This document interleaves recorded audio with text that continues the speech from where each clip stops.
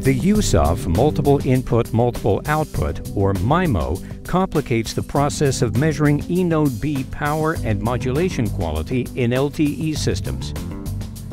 Spectrum analyzers only have one receiver, whereas two or more receivers are needed for complete demodulation of data traffic channels. Connecting directly to each transmitter in turn is not necessarily the solution because of traffic precoding techniques causing similar measurement constraints, and may not even be possible because of site accessibility issues or because of the use of remote radio heads.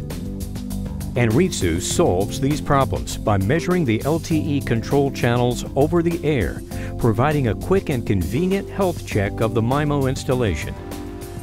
The advantage is that measurements can be done unobtrusively, and only if the health check shows potential problems need the site be taken off air for further investigation. The LTE options available for Anritsu's handheld analyzers measure the physical broadcast channel, or PBCH, under MIMO conditions. MIMO signals are automatically detected and the modulation quality measurement, or EVM, switches to the PBCH. However, there are some practical considerations. Co-channel interference from neighboring cell sites will corrupt the EVM measurement and should be minimized.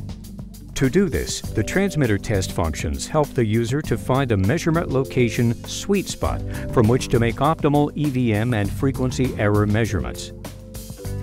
Use a directional antenna at a position about 500 meters from and in direct line of sight to the base station, away from any large reflecting obstacles such as buildings or hills. Move around a little until the base station signal of interest is considerably more dominant than any other, or preferably only the one cell ID is registered. This is then the ideal position or sweet spot from which to perform measurements.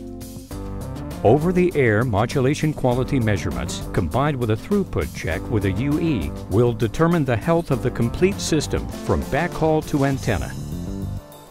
The transmitter test screen can also be used to determine correct MIMO operation and to troubleshoot cross-sector connection problems. As an example, this screen is showing the reception of two cell IDs of roughly equal amplitude, and it's impossible to find a sweet spot location. The reference signal power delta, which should be within 3 dB for correct operation, is indicating it can only find a reference signal from one transmitter of cell ID 17. The bad EVM measurement confirms a high level of co-channel interference, and the three measurements combined indicate the most likely scenario is that a feeder cable from an adjacent sector transmitter with cell ID 3 has been connected across to the wrong sector. In conclusion, MIMO and remote radio heads complicate LTE E-Node B transmitter measurements, but these complications can be overcome by measuring the LTE control channel signals. When combined with a throughput check, the Anritsu LTE measurement suite, and especially the transmitter test measurement, provides an excellent tool for ensuring that LTE MIMO systems are working properly, even while operating with live traffic.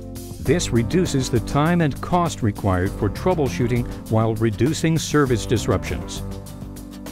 For more details, go to Anritsu.com and download the practical E-Node B transmitter measurements for LTE and TD-LTE systems using MIMO application note.